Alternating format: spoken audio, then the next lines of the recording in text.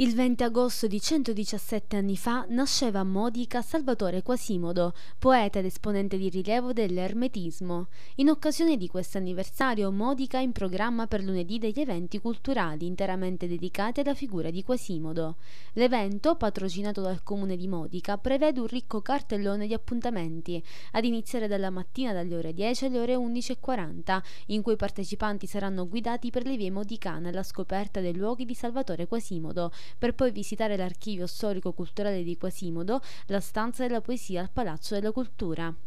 Nel pomeriggio invece è prevista la biblioteca comunale l'inaugurazione della mostra di installazione ispirata alle poesie del poeta modicano, realizzate dagli studenti delle scuole La Pira di Pozzallo, Archimede di Modica, Liceo Artistico Tommaso Campailla e Scuola Media Emanuele Ciaceri di Modica, per poi proseguire con la presentazione e proiezione del cortometraggio Specchio, vincitore del Giffoni Film Festival, sezioni giovani alla presenza del regista Angelo Piccione. Alla casa natale, sede del museo, verrà deposta una corona d'alloro e si terrà una conferenza sul poeta modicano tenuta dal giornalista e scrittore Danilo Ruocco. La serata si concluderà sempre nella sede della Casa Museo con il recital di poesie di Quasimodo in musica, curata dal musicista e compositore Gesuele Sciacca.